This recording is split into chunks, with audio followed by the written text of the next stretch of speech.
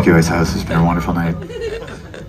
It was a spooky graveyard lock-in. All of our spooky friends were there by the time that the party was complete.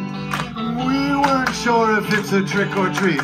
There was a sexy ghost, I believe it was the host, rose from the tomb just to find a groom. Gave me a solo cup and told me what's what. Try the cannibal stew, it's to die for, oh do. and then the swamp thing tries to dance with you. It's a special thing that you have to do. Just look him in the eyes and say, gee whiz, hit the road, or Draculas hanging by the freeway, smoking cigarettes and critiquing the DJ. One pulls out a conspicuous flask. Was it filled with blood? I was too afraid to ask them!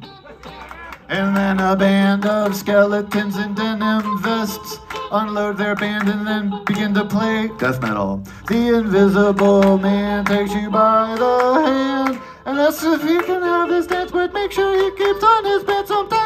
And then it's hard to tell where he is because he is not like you or me, and he is totally invisible. And then it is a scream, hey, to spooky graveyard locking.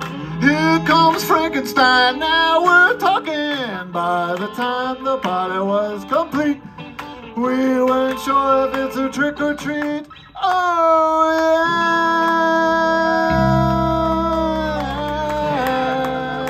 yeah, yeah, yeah,